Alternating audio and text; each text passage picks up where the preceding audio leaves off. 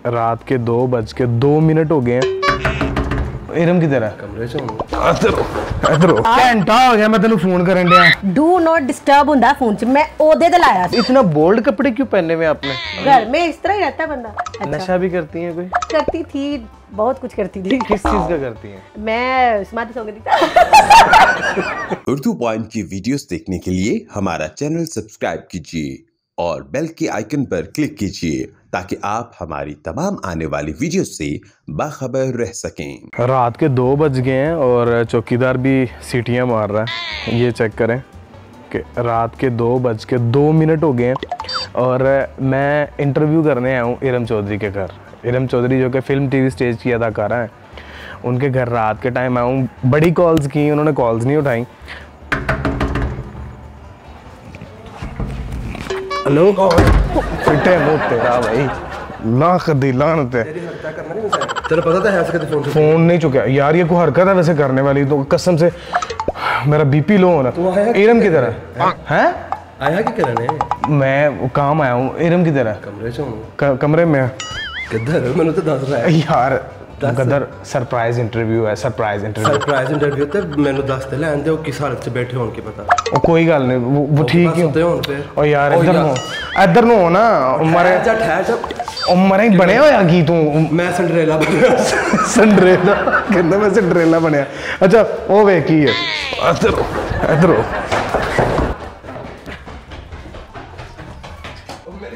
सब आ यार तू तो पीछे हो अस्सलाम वालेकुम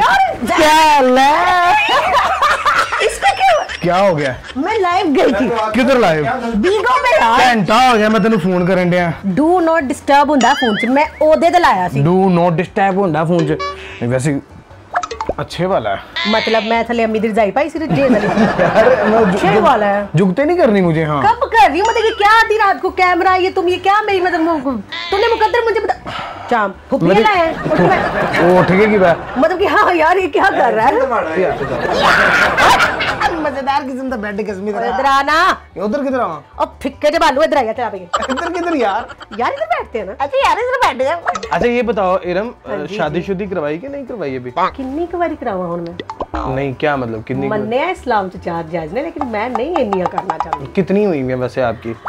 यार देखो कहते ना मर्द को चार पंजाबी बोलना मैंने पता उर्दू तेरे ਇੱਧਰ बोलने ਵੇਖੋ ਮਰਦ ਨੂੰ ਚਾਰ ਜਾਇਜ਼ ਨੇ हाँ ਤੇ ਮੈਨੂੰ ਮੇਰੀ ਅੰਮੀ ਆਪਣਾ ਪੁੱਤਰ ਕਹਿੰਦੀ ਹੈ ਨਹੀਂ ਬੇਟਾ ਤੇਰਾ ਰਾਜਾ ਨਹੀਂ ਮੇਰਾ ਪੁੱਤਰ है अच्छा तो आपने भी चार करनी है पागल हो तुम कितने हो चार क्यों करनी है बस तीन तीन तो करूंगी तीन चूक करूंगा अभी कितनी हुई है मौजूदा अ, साढ़े तीन तो इतना बोल्ड कपड़े क्यों पहने हुए आपने यार अब तुम अचानक आए हो तो बताओ मैं बुरखा पहन लेती हूँ घर में इस तरह ही रहता है बंदा अच्छा तो अभी कर क्या रही थी वैसे जब मैं आया हूँ तो लाइव बिगो पे।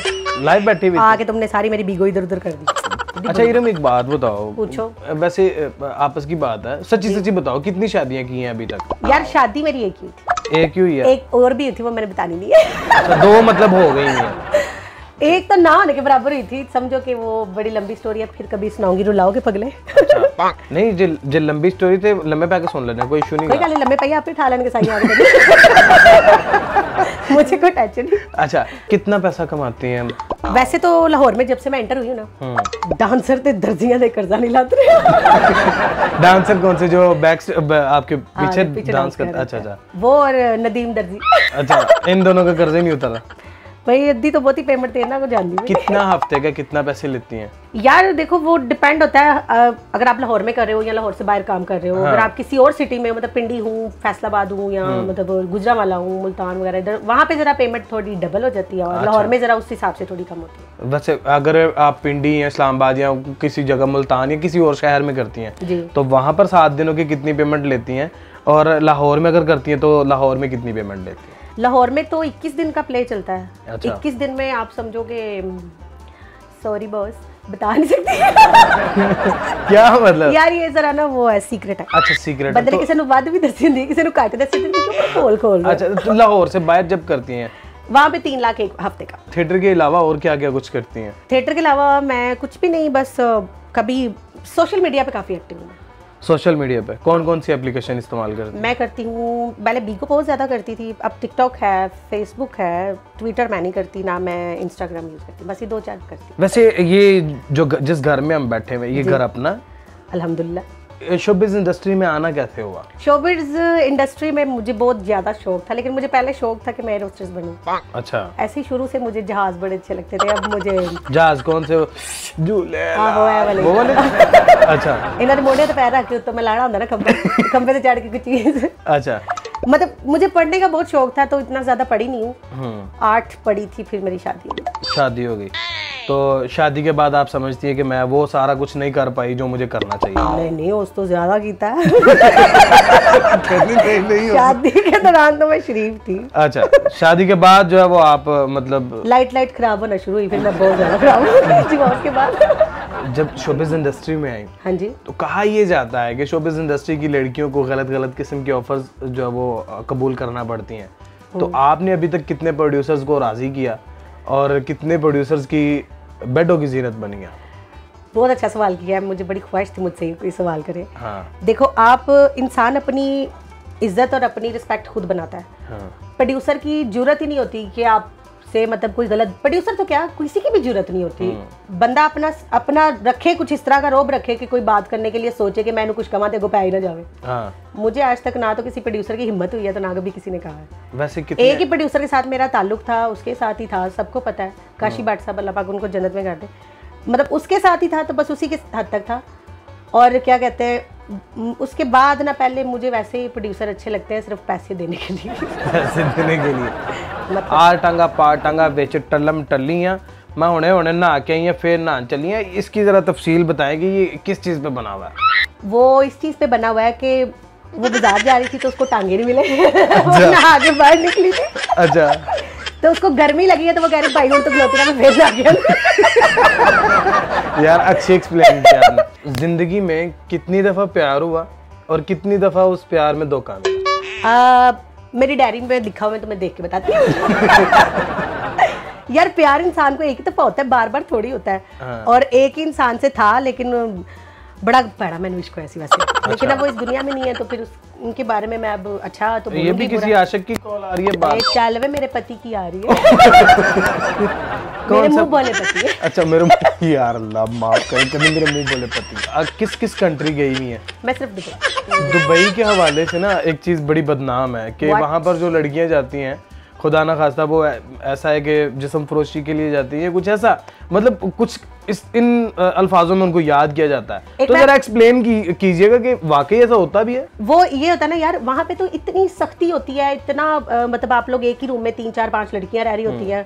अगर आपकी रिहाइश बाहर विला में है तो आपको होटल की गाड़ी और गार्ड आएँगे आपको लेके जाएँगे होटल में छोड़ेंगे उधर से आप काम करोगे फिर वापस आप अपने कमरे में आ जाएँगे। हम्म। तो ये जो जिसम फरोशी वाली बात है या जो इस तरह की हरकत है ना देखो ये वो लोग बदनाम करते हैं जो करते हैं।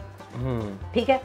जब मैंने वहाँ पे काम किया था इनके कुछ स्पेशल वीजे होते हैं कि नहीं इनके हाँ। आर्टिस्ट वीजे होते हैं। बार बार का ही वीज़ा होता है। इनकी पूरी परमिशन होती है पूरा सेटअप होता है इनका। अच्छा इरम शोबिज इंडस्ट्री से अभी तक क्या कुछ कमाया और क्या गवाया? गवाया तो बहुत कुछ है कमाया भी बहुत कुछ है। कमाया है तो बैठे हुए हैं और मतलब मैं घूम के नहीं, सुबह टाइम पे गाड़ी कौन सी रखी हुई है? Civic civic Honda civic Honda civic हाँ। अच्छा जी माशाल्लाह। गाड़ी भी यहीं से कमाई है? नहीं तो और मैंने मेरी फूफी ने ला के दी थी? नहीं नहीं। यार इधर से कमाई और कहाँ से अच्छा कमाई यहीं से कमाई हाँ। आज तक कितने लड़कों की जेबों में हाथ फेर दिया होगा आज तक मैंने कभी किसी की पॉकेट में हाथ नहीं डाला वो खुद ही दे जाते हैं। वैसे आज तक कितने लोगों को कंगला किया नहीं नहीं कंगला नहीं किया मैं फिर रेंट रूंट दे के भेजती होती हूँ कि अभी मैंने बात होना ना मतलब जान जोगा कराया दे के भेजांगे। लाजमी। अच्छा। नशा भी करती हैं कोई? बहुत। मैं तो बेचना भी शुरू किया है। नहीं नहीं पागल हो यार करती थी। बहुत कुछ करती थी। आपके बारे में अ, सोशल मीडिया पर कुछ इस तरह की अफवाहें हैं हाँ मैं करती कि हूँ। आप नशा भी करती थी करती हूँ अभी भी करती हूँ लेकिन जो नशे मशहूर थे वो छोड़ चुकी हूँ। अच्छा किस चीज़ का करती हैं? मैं समाधि सो गई मैं समाधि सोंग नहीं है। यार ये तो ना पूछो। वैसे क्यों मेरे पीछे कानून पहुँच वैसे वैसे आपस की बात है नशा करने वाले बंदे की चेहरे पर ना इतनी लालगी और ताजगी नहीं होती। यार मेरी नीयत साफ़ है। नीयत साफ़ है। मेरा खाना पीना ठीक है मैं रात को दूध ना पियो मुझे नींद नहीं आती। इरम चौधरी को कपड़े कैसे पसंद है? लते। यार क्या बदतमीजी है। लथे मीन्स के चेंज किए हुए यार। अच्छा चेंज किया कपड़े मुझे जो मुझे सूट करे। जो सूट करें हाँ जो स्पेशली ब्लैक तो बहुत ज़्यादा है कि मेरी अम्मी मेरे कहते बेटा तेरे अलमारी से सोगी ना। फिर कुछ रंग बिरंगा भी करेगा। इरम चौधरी को रंग कौन सा पसंद है? उड़ा हुआ ब्लैक मेरा फेवरेट है कि ब्लैक पे तो मेरी एंड फ्रेंड हो जाती हूँ मैं। ब्लैक बहुत पसंद है वाइट अच्छा लगता है मुझे और रेड अच्छा टिकटॉक पे कितने फॉलोअर्स हैं? यार मेरे पाँच मिलियन पे आईडी बैन हो गई थी। फिर मैं हाँ दो साल मैंने नहीं चलाई मैं मुँह नहीं लाया टिकटॉक में। वैसे तो काफ़ी सालों से चला यूट्यूब भी यूज़ करती हैं? मैं सिर्फ़ पाउंड फेस वॉश यूज़ करती हूँ। यूट्यूब यूज़ करती हूँ का क्या मतलब है? हाँ यूट्यूब पे अकाउंट है लेकिन वो मेरा वो नहीं है। मोनेटाइज क्या बोलते हैं? हाँ, बस उस पे मैं अपने अपने ही शुगर के लिए अच्छा फेसबुक भी यूज़ करती हैं?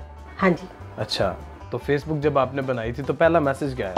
पहला मैसेज ये आया था कि खबरदार तुमने अगर इस लड़के को अपनी फ्रेंड लिस्ट में डाला तो हम तुम्हारी यूट्यूब भी एंड फ्रेंड कर देंगे। एंड फ्रेंड कर देंगे। तुम्हारा वाईफाई उड़ा देंगे।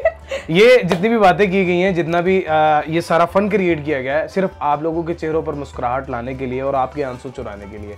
अपने मेजबान जैन बाबू को दीजिए इजाज़त। मेरे साथ हैं इरम चौधरी अलानी निगाबान